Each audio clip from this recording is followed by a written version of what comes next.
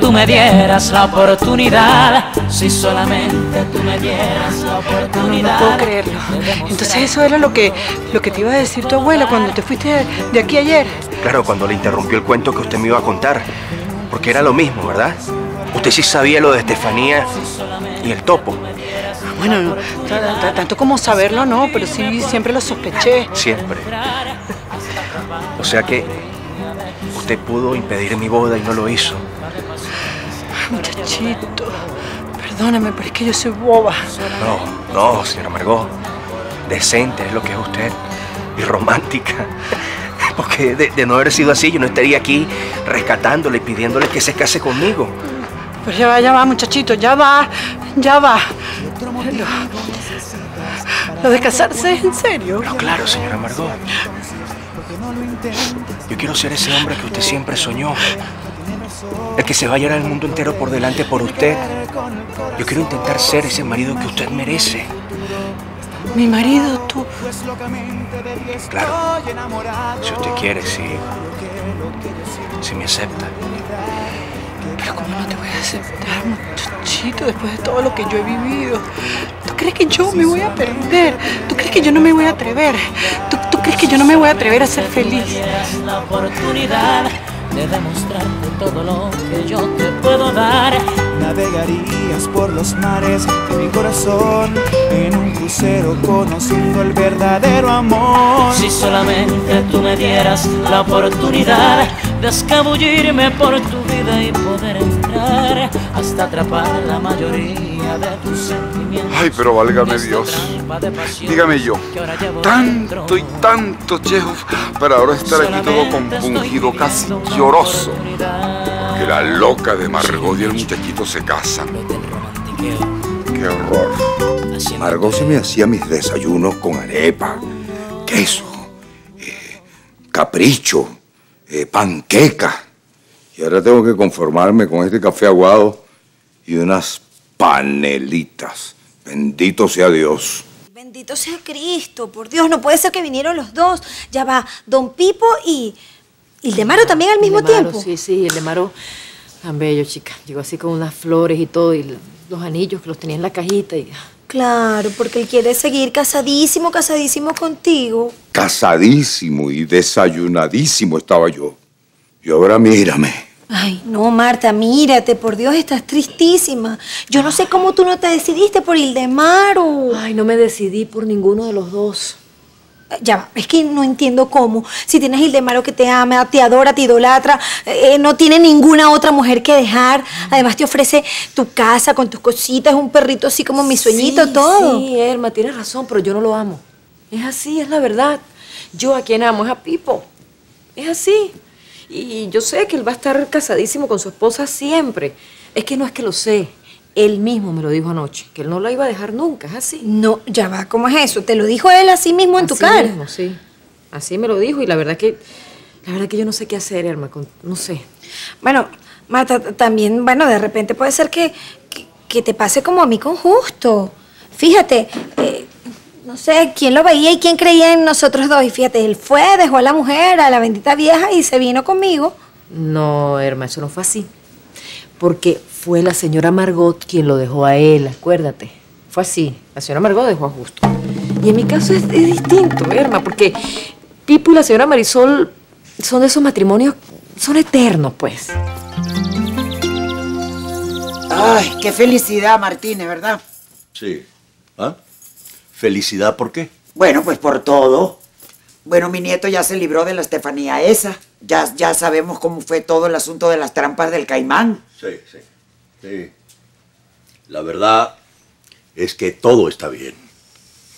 Muy bien. Todo muy bien, menos usted, Martínez. ¿Cómo que no, Marisol? A mí esas cosas también me alegran. Bueno, sí, por eso es que está usted brincando en una sola pata. Ay, Marisol, usted me conoce. ¿Sabe que...? Claro que lo conozco y me lo sé completico, Martínez. Y sé que si usted no está llorando, es porque es hombre y chapado a la antigua. Ajá. ¿Y qué motivos tendría yo para llorar, Marisol? ¿Ah? Un motivo tiene, Martínez. Y ¿Ah? es Martita. Martita. Perdón. ¿Qué me está diciendo usted? Ay, Martínez, lo suyo con Marta yo lo sé hace años. Lo que pasa es que yo me hice la loca, ¿sabe? Porque lo quiero mucho y... y porque jamás me faltó. Es que... Además, yo lo veía feliz, ¿sabe? Marisol, Marisol, no sé ni qué decirle. Pero yo sí. Mire, yo, yo podía hacerme la loca y... Con tal de que usted fuera feliz, ¿sabe? Aunque sea por otra. Pero despechado por otra. Eso sí que no me la calo. Así, piense bien, Martínez. Piense bien qué va a hacer. Porque o se va usted o me voy yo.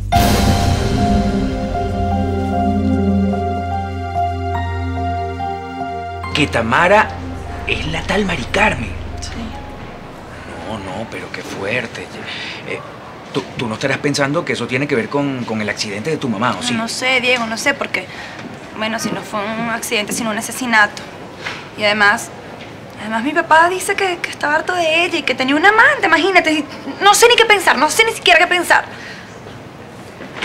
O sea que...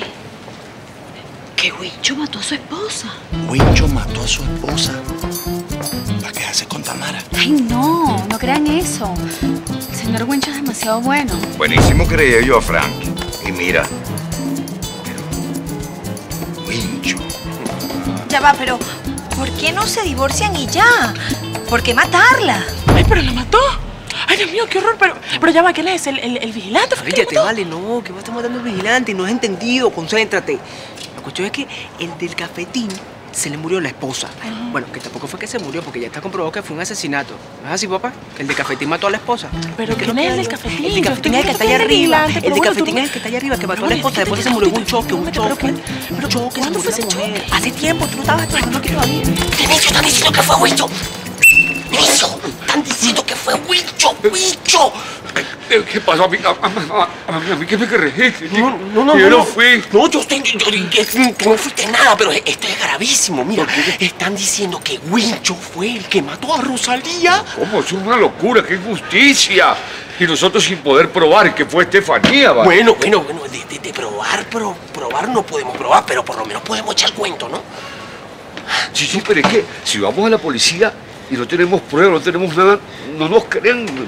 Créeme. Bueno, yo, yo, yo, yo- yo te lo creo, pero, pero si no, no podemos echar, por lo menos podemos echarle el cuento a Wincho. Es que la verdad, uno, uno lo piensa y no se cree. Es el colmo.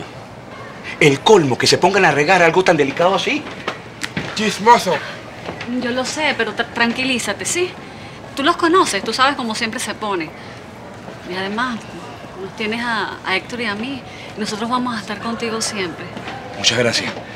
De verdad no saben cuánto se los agradezco. Esta ayuda. Es que lo que pasa es que a mí la verdad no, no me importa lo que piense esa pila de... A mí lo que me importa en este momento es lo que está pensando Daniela. Mi muchacha, mi hija, lo que está pensando. Eso me duele. Eso me duele mucho.